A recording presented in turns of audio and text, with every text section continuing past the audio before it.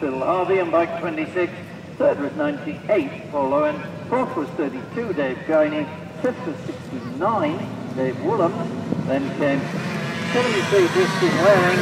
And finally number 28.